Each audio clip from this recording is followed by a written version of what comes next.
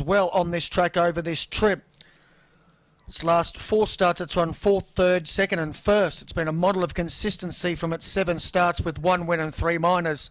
It looks the danger. Bunny is on its way. Just about set to go for the fourth. Ready? Racing.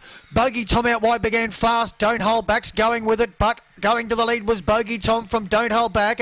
In third spot was Jip Rock Genius, then Lukaku. Not far away was Rocky Benz. A gap after that to Brightview Star. Getting well back in the field was Dirty Dessa and Aussie Aussie was towards the tail. Bogey Tom leads by three on the bend and looks to be travelling.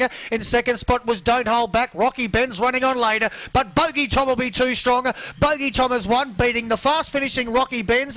Don't Hold Back third and fourth was Lukaku just in front of Aussie Aussie. Not much in that go. Could go either way away. Then Brightview Star, Dirty Dessa, and Jiprock Genius towards the tail.